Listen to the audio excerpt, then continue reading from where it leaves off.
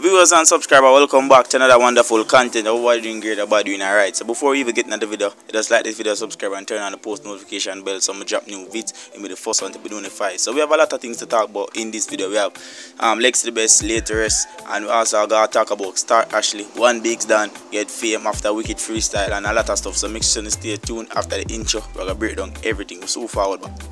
Yeah, man, I don't know. Cold Boss represent for Black Boss, Zimmy, Real Vaga, So alright viewers, welcome back. So right now we're gonna talk about Lexi up first and this one. So we want the second condolence out to the family of Lexi. I understand RIP to a real legend. As in she's a best comedian. She do her time, she left with laughter and good memories of her. As in and a lot of people go out there go show her support. She later is on Sunday.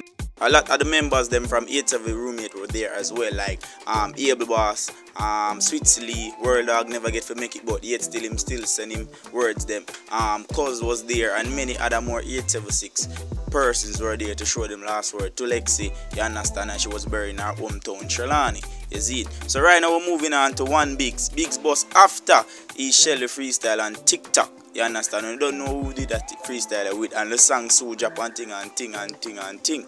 We check out a one clip of him vibe him to his new hit song soon to upload. Yeah, tap boat, yeah, boat, yeah, tap boat, lick, yeah, tap. Nah, my life.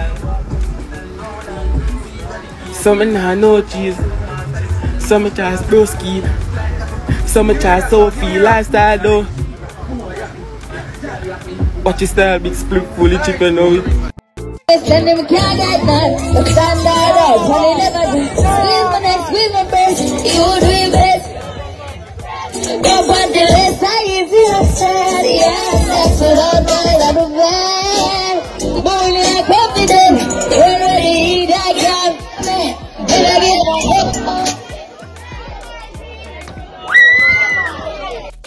him can't get none. But stand out, honey never do. So that's a good look for one Biggs. You don't know him I do him thing out there. I do some shows, some little performance in a taboo and some other little event. Recently he did a performance with Marksman down at taboo and slash Stalk Ashley Azine. And speaking about Stalk Ashley, me just provide the video a while ago the dude trying to you don't know to see what I going on. We don't know if a security should be off or what but that person that should be off him get a hard lick though. You see him supposed to shame for the rest of his life. You see and this is not a good look for the artist who know say yo she a perform and you understand a fan go just run up and yeah, you understand? So it kind of dramatized them as a way, so them always are kind of scared to put out them full best. You understand? So the people them just want to beat in the liquor, especially the man them, just want to compose. You see, remember back road there and full of insurance, right? So don't. So thanks for watching. Big up yourself. We're outside.